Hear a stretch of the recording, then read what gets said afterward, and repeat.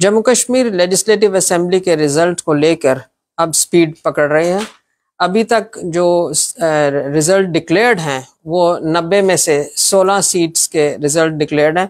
हो सकता है जैसे जैसे जिस वक्त हम आपको ये अपडेट दे रहे हों ये ब्रेकिंग न्यूज़ दे रहे हों ये तादाद बढ़ भी सकती है विनिंग कैंडिडेट्स की।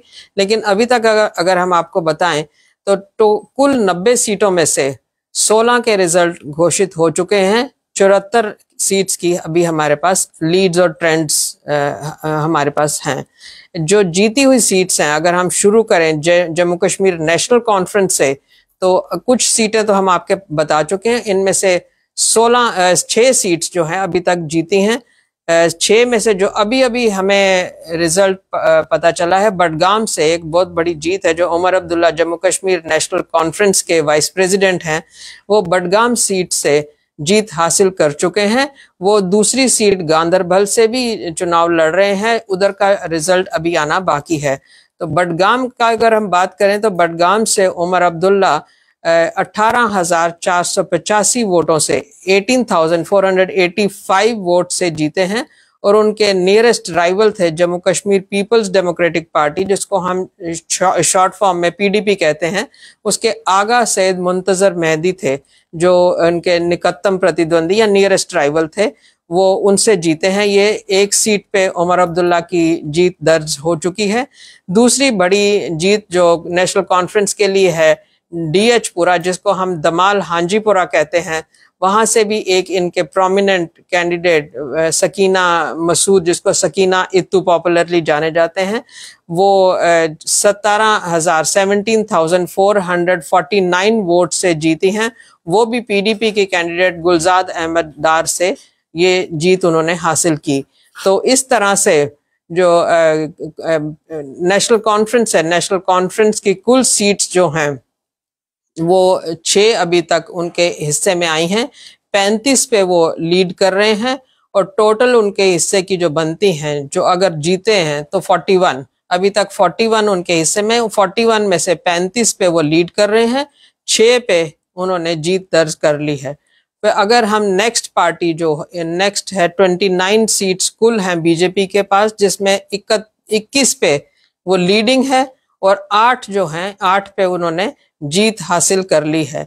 इस आठ का हम आपको पहले दे चुके हैं। जब उधमपुर ईस्ट से रणवीर सिंह पठानिया जीत चुके हैं। चनैनी से बलवंत सिंह मनकोटिया जीत सके, चुके हैं। रामनगर जो शेड्यूल का रिज़र्व कॉन्स्टिट्युएंसी है, वहाँ से सुनील भरद्वाज जीत चुके हैं। बिलावर से हमने बताया सतीश कुमार शर्मा जीत चुके हैं। बस, बसौली से दर्शन कुमार अब सुचेतगढ़ का जो अभी आया है वहाँ से घारू राम जीते हैं। घारू राम बीजेपी के हैं जो 11,141 वोट से जीते हैं और ये भी जीत इन्होंने nearest rival Indian National Congress के भूषण लाल जी से जीती है। तो इनके अगला जो कैंडिडेट है बीजेपी का, जम्मू वेस्ट से, अरविंद गुप्ता आपको बता चुके हैं और जम्मू नॉर्थ से एक बहुत बड़ी जीत, बहुत बड़े कैंडिडेट जो जम्मू के, जिनको शेर जम्मू भी कहा जाता है, श्यामलाल शर्मा, ये जम्मू नॉर्थ से जीत चुके ये भी बहुत बड़ी जीत है और दोनों बहुत बड़े कैंडिडेट, अजय कुमार सडोत्रा जो नेशनल कॉन्फ्रेंस के और श्यामलाल शर्मा बहुत वेटरन लीडर्स दोनों, श्यामलाल शर्मा पहले कांग्रेस में थे, जब ये मंत्री भी रह चुके हैं।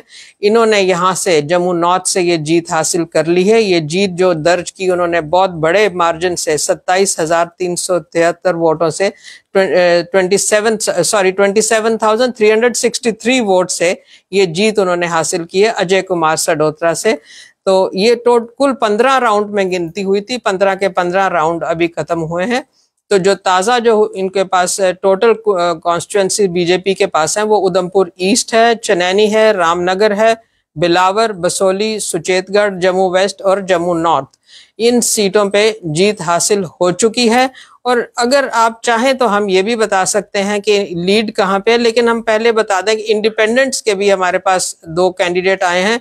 पीडीपी के भी एक कैंडिडेट ने जीत हासिल कर ली पीडीपी का एक पहले हम शुरू करें, पुलवामा 34 कॉन्स्टिट्युएंसी नंबर है, पुलवामा से वहीदुर रहमान पर्रा ने ये जीत हासिल की है, और ये जीत उन्होंने मार्जिन जो है 8148 वोट का है और ये टोटल राउंड जो काउंटिंग के थे वो 12 थे 12 के 12 अभी खत्म हुए और अगर हम आपको बता दें कि पहले राउंड में, पहले फ़र्स्ट फ़ेज़ में ये वोटिंग हुई थी और उस वक्त वहीदुल रहमान पर्रा से हमारे सहयोगियों ने जब बात की थी तो उस वक्त ऑलमोस्ट सर्टन था कि पुलवामा सीट जो है ये पर्रा के पास जा रही है। तो ये जो एक दर्ज की है पीडीपी ने। ये एक सीट जो घोषित हुई है, अब पीडीपी तीन पे लीड कर रही है और कुल संख्या चार बनी। तो फिर हम आते हैं इंडिपेंडेंट्स पे। इंडिपेंडेंट्स कुल आठ सीटों पे आगे हैं। छः आठ इनके हिस्से में जाने की उम्मीद है, जिनमें से छः में ये आगे हैं और दो पे इन्होंने जीत हासिल कर रही है। तो बता दें, इंद्रवाल, एक बहुत ही इम्पोर्टेंट कॉन्स्टिट्युएंसी किश्तवाड़ डिस्ट्रिक्ट में है, इंदरवाल। इंदरवाल से जो है इंडिपेंडेंट कैंडिडेट प्यारेलाल शर्मा, उन्होंने जीत बहुत ही छोटे मार्जिन से 643 वोट बहुत ही छोटे मार्जिन से। मार्जिन छोटा है, बड़ा है, कई बार हमने देखा है दो दो सौ वोट से या सौ वोट से भी जीत हासिल होती है। प्यारेलाल शर्मा इंडिपेंडेंट ने निकटतम प्रतिद्वंदी गुलाम मोहम्मद सरूरी, एक बहुत ही टॉल लीडर इंदरवाल के उनसे ये जीत हासिल की है। गुलाम मोहम्मद सरूरी को ये जीत महज से छः सौ तैतालीस वोटों से ये हार लेनी पड़ी। और गुलाम मोहम्मद सरूरी इंडिपेंडेंट, ये भी इंडिपेंडेंट कैंडिडेट हैं जो डीपीएपी में थे पहले।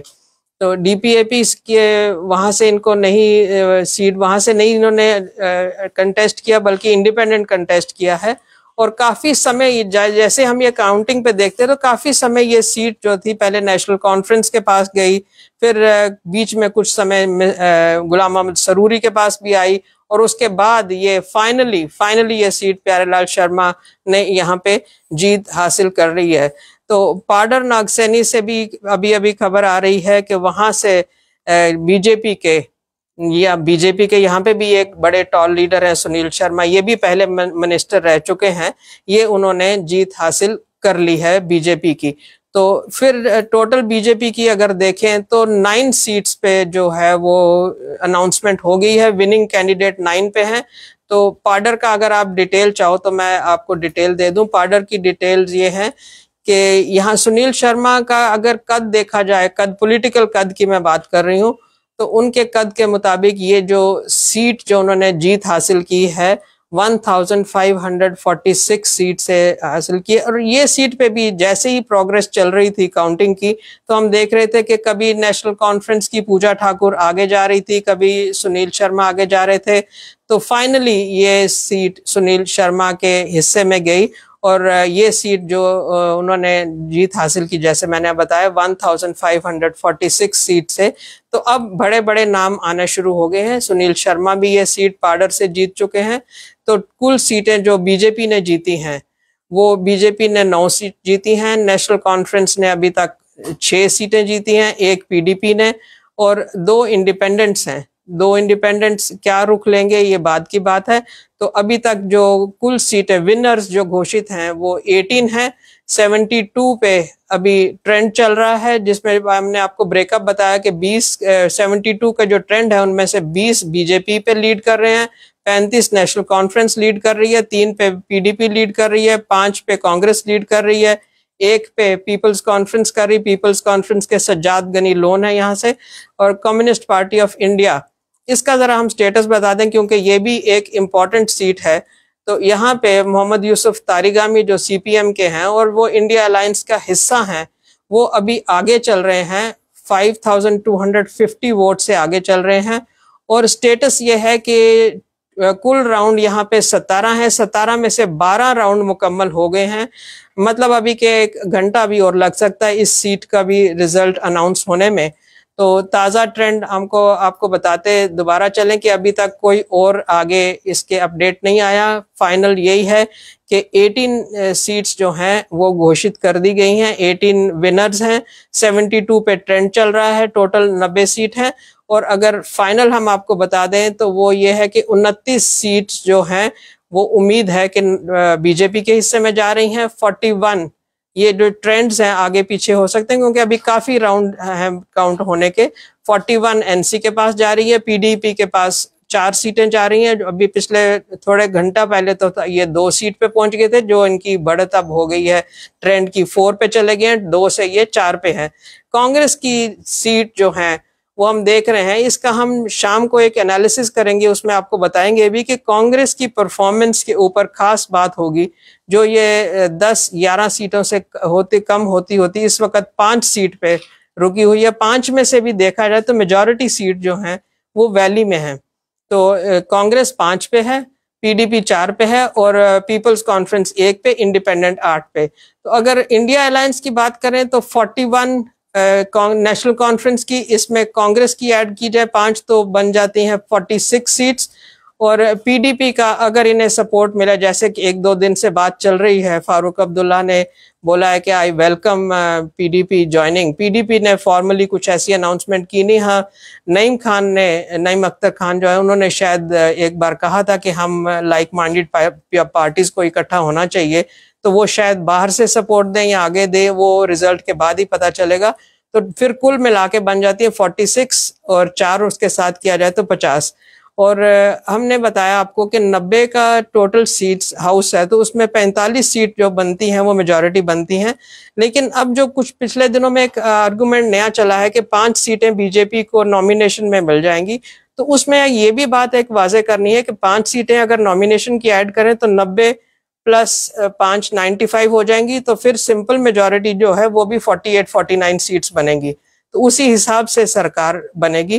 और अभी तक जितनी भी अपडेट्स आई हैं, वो उससे हम आपको अवगत कराते कराते रहे हैं। और अभी जो है फाइनल वही पिक्चर है। 18 टोटल सीट घोषित की है। विनर 72 लीडिंग 90 टोटल सीट्स आगे के सिचुएशन जैसे ही अपडेट होगी, हम आपके साथ जुड़ जुड़ जाएँगे। थैंक यू वेरी मच बहुत बहुत शुक्रिया।